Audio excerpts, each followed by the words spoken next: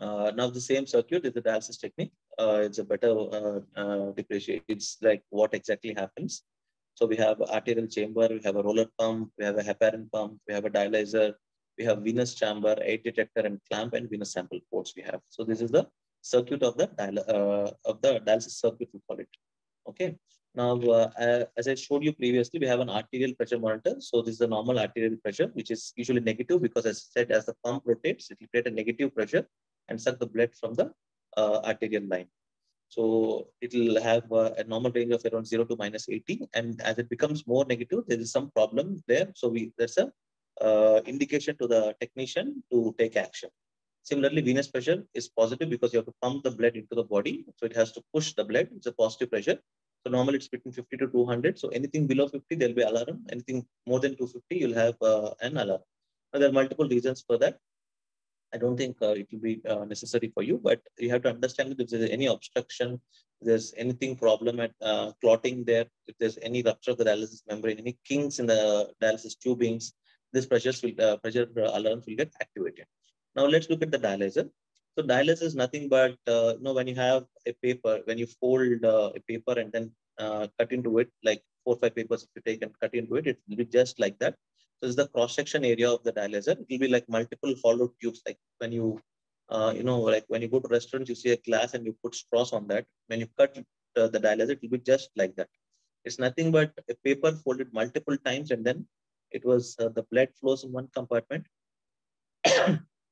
the dialyzer flows in the other compartment. So we have uh, parts for the dialyzer also. You have something called as header. You have something called as potting compound. And you have hollow fiber chambers. You have blood output. And you have uh, blood inflow and the blood outflow. The top is the blood inflow. The down is the blood outflow. And uh, header is the top one. And the blood and the dialysate always flows in the opposite direction. Now, this is called as counter current flows, just to maintain the maximum gradient of solute throughout the dialyzer, uh, uh, throughout the dialyzer.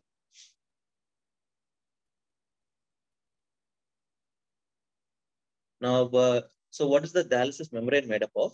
Now, dialysis membrane, again, we have uh, we have made a huge, tremendous progress in the dialysis membrane. Initially, what we used was a cellulose-based membrane, which uh, know, which is uh, uh, which causes high reactions and all those things. Later, we have semi-synthetic cellulose membranes, which is cellulose diacetate, triacetate, and uh, diethylaminoethyl substitute cellulose. And uh, what we are now using is a synthetic polymers. Uh, what we most commonly use is a polysulfone membrane, and we have PMMA, acronyl, and um, gambrane, polyamide uh, membranes, all those things. The latest is the synthetic polymers, which has less reactions, and uh, the biocompatibility is the good uh, it, it's a good uh, biocompatible membranes. These are good biocompatible membranes, basically. So, so when you look at a dialyzer, you have to look at the type of the membrane and what is the volume capacity of the dialyzer, what is the surface area, and uh, how many times can be reused, and uh, the clearance of various substance, uh, substances, and the sterilization requirement. Now, uh, the latest thing we are following in Apollo is a no reuse policy. Previously, we used to reuse the dialyzer, so we used to calculate the volume of the dialyzer and then uh, until it comes down 40% below the basic uh, baseline value, we used to reuse the dialyzer. For the past three, four years, we, have, uh, we stopped reusing the dialyzer because uh, the num more number of times we reuse the dialyzer, the efficacy of the dialyzer will come down. Now, these are not important for you. Flux and efficacy is not important for you. Uh, so basically, efficacy is the uh, uh, capacity of the dialyzer to remove urea and other substance whereas flux is the pore size. So basically you have small pores through which the solutes move across. So the bigger the uh, pore size, the higher the flux of the membrane. Surface area, when you talk about the surface area of the dialyzer, the bigger the membrane, uh, the higher the efficacy for to remove uh, small molecules like urea and all, which is called as efficacy. The normal efficacy is around uh, uh, it, it, will be around uh, uh, urea clearance by body weight is less than 3. It's more than 3 is high efficacy. Flux is again based on the size of the pores. Now, uh, just like outside circuit, we'll have inside circuit in the dialysis machine also because the dialysate is mix is created by mixing water with acid and the base. So what happens is we'll have um, treated water, which is nothing but um, ultra pure water or pure water that uh, there's certain guidelines uh, for uh, how to use this water also. So the water will get uh, gets into the machine. It's get it gets heated and deaerated, and uh, there's something called proportionating system which will suck acid and the base from the cans. Uh, just give me one minute.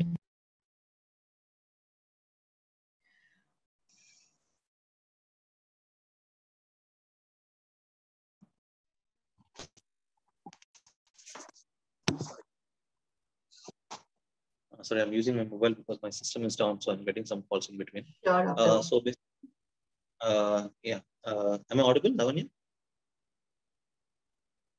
Doctor, you're audible. Yes, you're audible. Yeah. So basically, we have a proportionating system where uh, it sucks the acid and the base and mixes with the water in certain proportions, and then create the uh, dialysate. Once the dialysis dialysate is created, we have to measure uh, how the dialysate is. So basically, how much sodium and potassium and all. So we can't check every time. So we have a conductivity monitor based on the amount of sodium and calcium and magnesium. The conductivity there will be conducted alarm also in the machine, and then it will be uh, shifted to the balancing chamber and then it will be given to the uh, dialyzer. Now, what is the dialysate composition? As I said you, normal dialysate contains sodium, potassium, chloride, bicarbonate, magnesium, and calcium. So these are the normal values. You can remember if you want. But generally, what is important is the sodium and the potassium. Sometimes we make zero calcium dialysate also when uh, when you're dialyzing very high calcium containing patients.